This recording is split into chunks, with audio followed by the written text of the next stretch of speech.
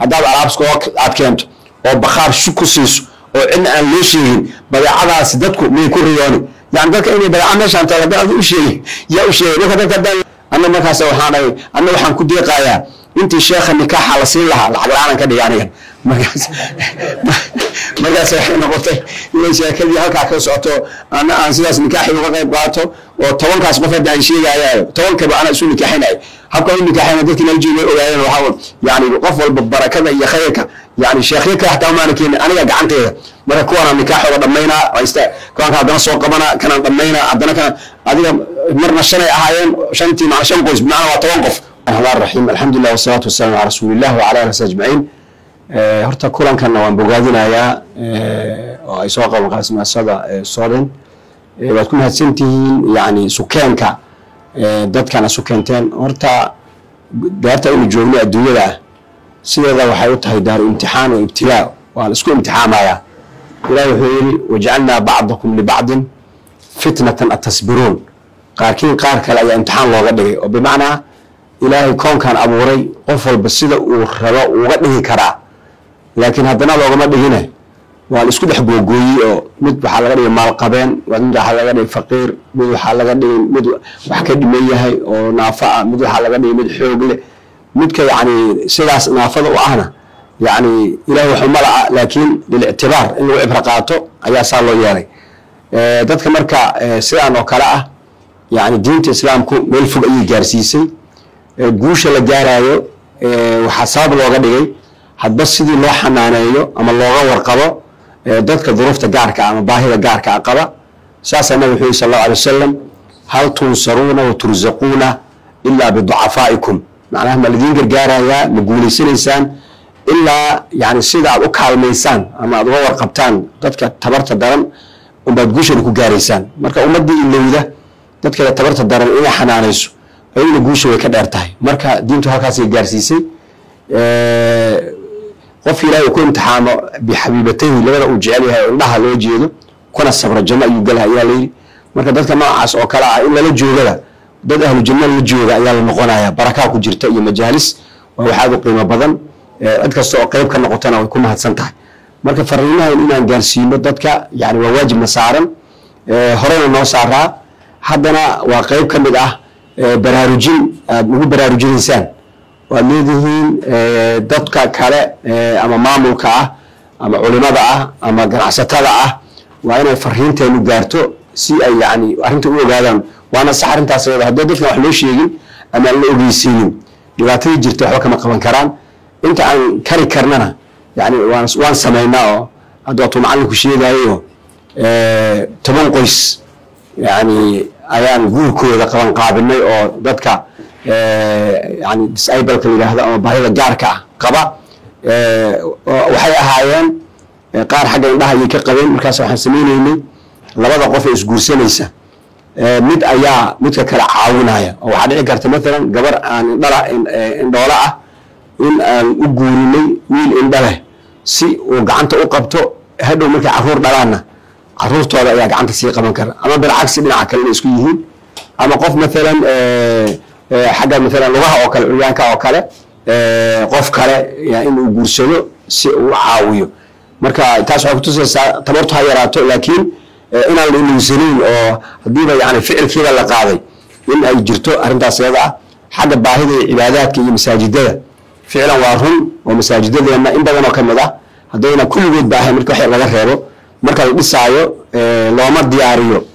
Qeybta ay ka soo geli lahaayeen dadka baabuurta lagu riixaayo leh laakiin aniga taas waan ka baxsadayoo misita cumar ibn khadaab ee zooba ku yaalla kilomitr five almaxamuud baabuurkaada meesha alla mari lahayd waan kuu diyaariyey meel ay ka soo galaan oo baabuurka yani loogu talagalay inay maraan ayuu masaajidku leeyahay markaan dhisaynin aan ku talagalnay yani dadka shaas ah inay masaajidka imaan karaan meesha ay ka soo fuuli lahaayeen oo jaranjarta u gaarka ah ayagoo loo samaynaayo marka waa intaas oo la sii ballaariyo oo masaajido dhan lagu caamiyeelo oo dadka la xusuusiyo maxaa yeelay yani salaada yani dadka waa lagu wada leeyahay.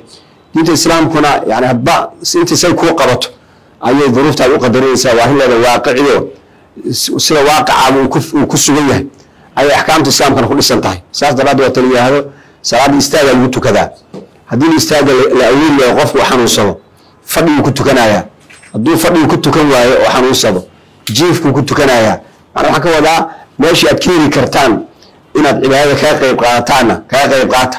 Meesha idiin suurtageliyeysana inay idiin suurtageliyeysay ayaa waxay idinka dhigaysaa macduur oo yani cudurdaar aad u haysataan inaad hadba sidii soomaalida waxay ku maahmaan salaad say kuu qabato. Ayaa loo tukadaa. Inaad hadba marka sidii aad u tukan kartaan aad cibaadaysan kartaan cibaadaystaan xagga tacliinta iyo baridda oo wax meesha ku jiro oo waa run yani tacliinta markii dadka wax la baraayo waxaa jira waxa furuuq fardiya. Dadku inay kala duwan yihiin oo qaar waxaa jira maalan hadal haddii loogu sheego ama loogu tilmaamo markiiba qaban kara iyo qaar u baahan in gacanta lala qabto. Marka dad waxaa laga yaaba inta badan in wax u sheegaas guuday dadka wax ku bari jireen oo keli ah inay waxbarid u yaqaanaan. Marka idinka naftiina dadka wax baraysiino waxaad tirahdaan sidaas yani keliya wax kuma fahmayne. Waxaan u baahannaha in naloo tilmaamo oo waxaa rabaa qofkii maalan in yani gacanta lala qabto.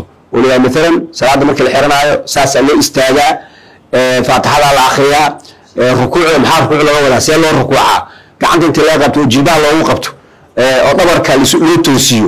Oo layaa dhabarkaaga oo saa u siman gacmahaagana ay jilbaha ay kuu saaran yihiin. Sidaasaa yidhahda ictidaal maxaa yidhahdaa?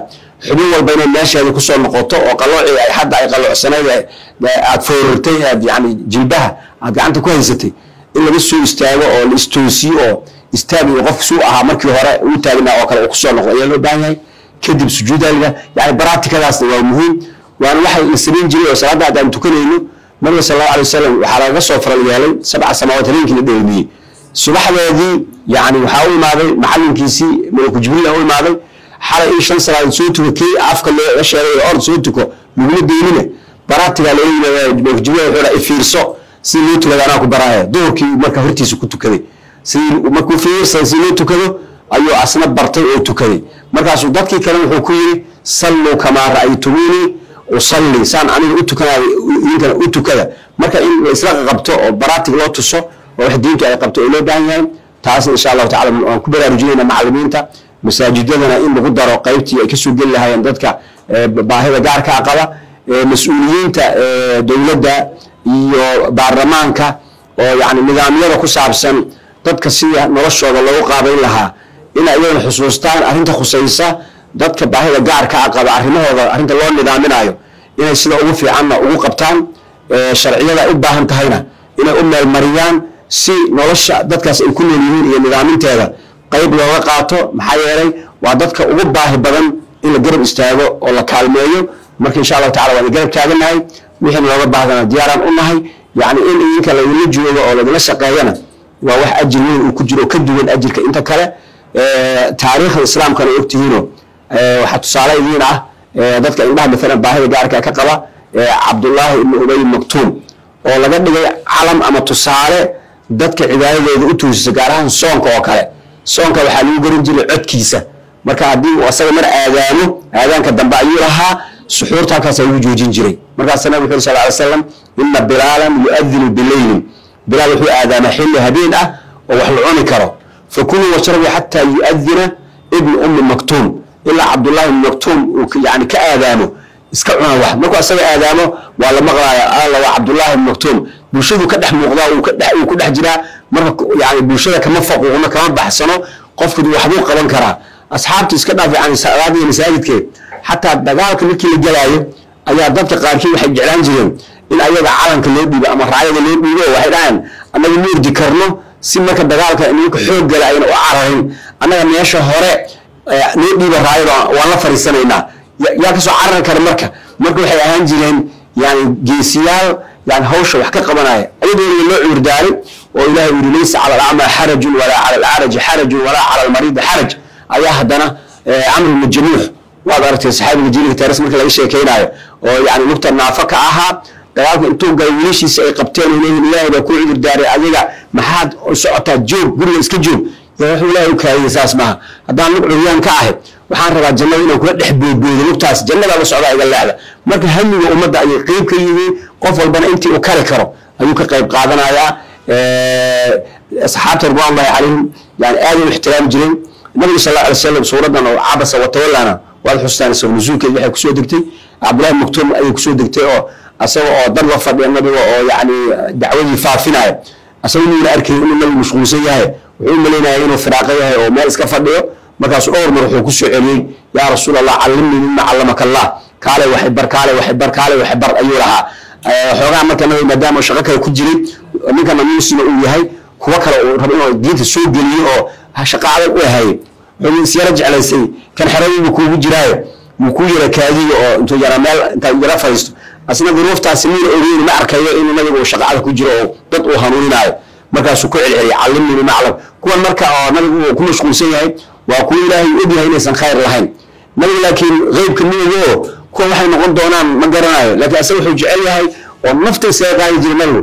Dadka oo dhan inay kulligood soo wada raacaan. Markaas waxaa lagu yidhi falacallaka baaqicu nafsaka calaa aafaarihim in lam yu'minuu bihada alxadiidi asafa naftaada inaad halaagtaad ku dhowdahay nabiga inay diinta soo raaci waayaan bal naftaada dhan u kaad asagoo marka u mashquulsan markuu yidhi wax waxoogaa u keera mashquulay waa tii aayadahan oo citaabka ah weliba oo laakiin tooska aan ahayn nabiga looga soo jeediyey oo markii laga hadlaayo qof kale laga dhigay in lala hadlaayo si canaanta toos nabiga uga dhicin isagoo ilaahay nabiga yani sharaftiisa iyo karaamadiisa uu ilaalinaayo markaas waxaa yidhi cabasa watawallaa toos khibaarku looma jeedin lama dhihin rasuulka ilaahayow cabasta watawallayta lama dhihin.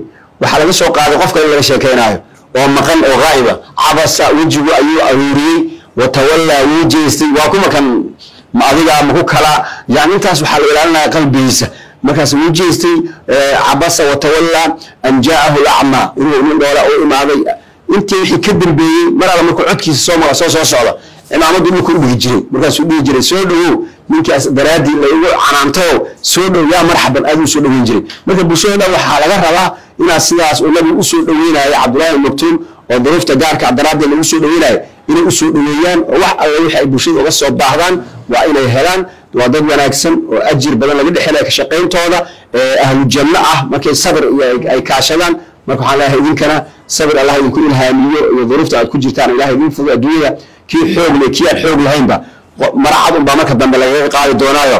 Miidka soo bixiy arrinta ku dhammaan doontaa inta ka horeysana waa in insaan dhiban oo qof walba tiisa meesha ku haysataa yaa ayuha alinsaanu inaka kaadixun ilaa rabbika kadaxan fa mulaaqiih qof walba si ayuu u dhibaataysan yahay. Marka dhibaatadii ayaa laga yaabaa inay kala daran tahay. Soomaalida waxay yidhahdaan geed walba intii gubtaa hoos taalla.